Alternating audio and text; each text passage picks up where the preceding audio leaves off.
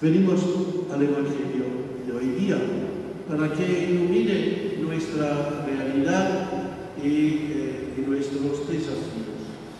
Nace una pregunta fundamental.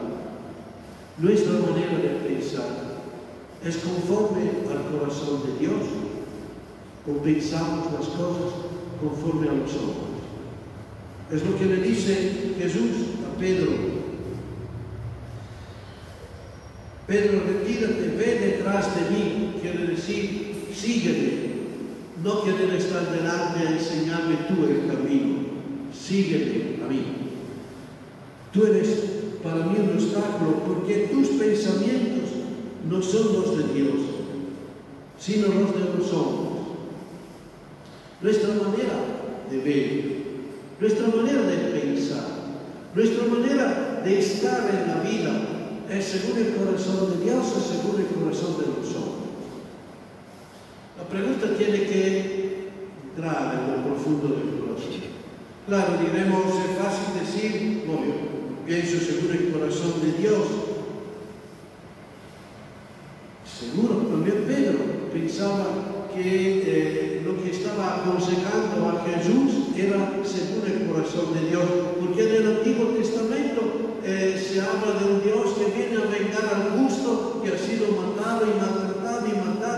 vengar a los profetas que han sido eh, matados y botados afuera de los, de, de lugares habitados, viene a vengarse de los que han sufrido en nombre de Dios. Entonces, cuando Jesús dice, yo voy a, a pagar esta situación, voy a morir igualmente que ellos, pero dice, no, no es según el Antiguo Testamento, no es según lo que me han enseñado de Dios. Entonces, Jesús, por favor, cambia la situación. Encima, que si quieres que la gente te siga, esto no puede ser el destino, eh, el camino que propones. También Pedro estaba convencido de pensar las cosas en el corazón de Dios. Dice, situaciones que eh, a veces la, la, justificamos, y aquí otro malentendido, de que quiero seguirme, que cargue con su cruz y me siga, salto el pasaje que denuncia a sí mismo, que cargue con su cruz y me siga. ¿Cuántas excusas le hemos cargado a Dios como si fuese la cruz que Él nos ha dado? ¿He escuchado de mujer que son pegadas del hombre violento que tienen en la casa? Le digo, ¿qué estás haciendo para cambiar esto? Ah, es la cruz que Dios me ha dado.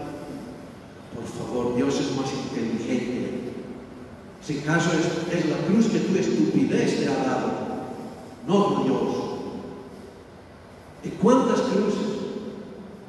Enculpamos a Dios y las cargamos como si fuese el castigo que Dios me ha dado, como si Dios necesitara castigar. No hemos entendido el corazón de Jesús. O como si es la cruz que Dios me ha dado para ganar el paraíso. Por favor, no es tu ceguera la inteligencia de Dios. No es tu irresponsabilidad la inteligencia de Dios. No cargamos a Dios las cruces que no son las que Dios quiere. Sí es cierto que no hay hojita que se mueva en un árbol, como que no sea voluntad de Dios. La voluntad de Dios no es que el sufrimiento de los hombres. La voluntad que quiere decir que los que mueren de hambre es voluntad de Dios. Que los que no se están curando porque faltan de medicamentos y porque faltan de dinero es voluntad de Dios. Cuando hay una injusticia social en la distribución económica es voluntad de Dios. Cuando hay que aguantar los diservicios, la falta de servicios bien hecho de parte de personas propuestas a hacerlo porque son irresponsables, es voluntad de Dios. Esto no es el Dios de Jesucristo. Atención entonces, cuando pensamos que sea voluntad de Dios.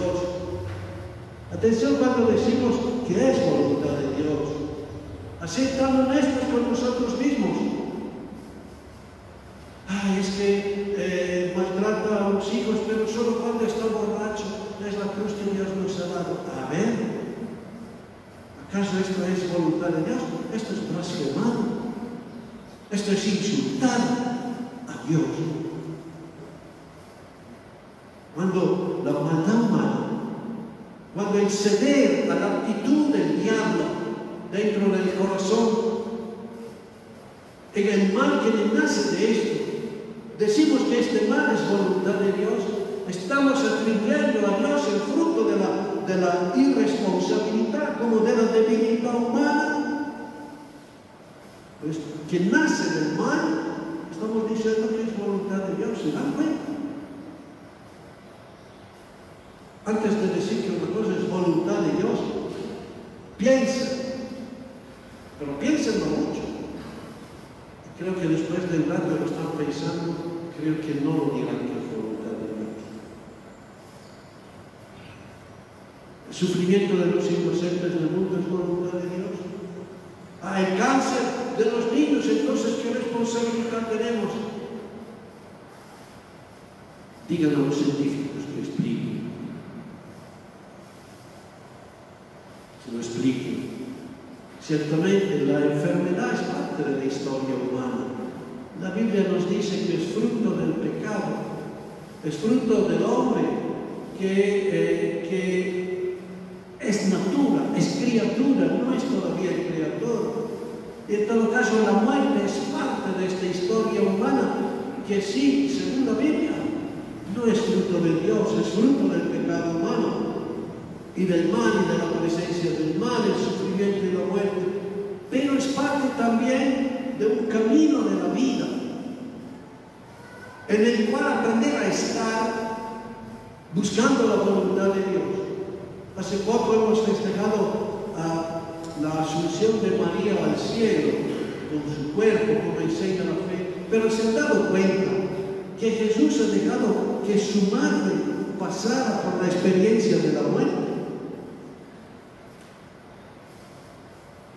Entonces, también el mal que no es voluntad de Dios se puede volver un instrumento en que crecer en la luz de la voluntad de Dios y en el bien. Esto es el desafío, aprender a ver las cosas según el corazón de Dios. Y cuando hacemos el mal y las consecuencias que hay del mal, y cuando encontramos las consecuencias del mal de la misma sociedad en la vida de las personas, no vayamos a decir, ay hijito, tienes que cargar la cruz que Dios te ha dado. Porque en este momento, creo que si pudiéramos escuchar la voz de Dios, nos repetiría también a nosotros, retírate y ve detrás de mí, Satanás, por decir estas cosas. Porque demasiadas veces decimos que es la cruz que Dios nos ha dado cuando es fruto del pecado humano, cuando es fruto del pecado social, cuando es fruto del pecado, permítame entrar en esto también, cuando es fruto del pecado ecológico que está destruyendo al mundo. ¿Y quién carga estos pecados? Los más débiles, los más pobres y a veces también los más ineptos, los más ciegos, los que eh, con apuro de solucionar las cosas aceptan cualquier cosa, a condición de salir de donde están, cuando se actúa así. Cualquier cosa a condición de cambiar, normalmente sí se cambia. De la olla al fuego. Las cosas tenemos que aprender a manejarla con otra visión, con otro corazón. Y es lo que hoy Jesús desafía a Pedro y con a Pedro a todos nosotros. De verdad, que el Señor nos ayude a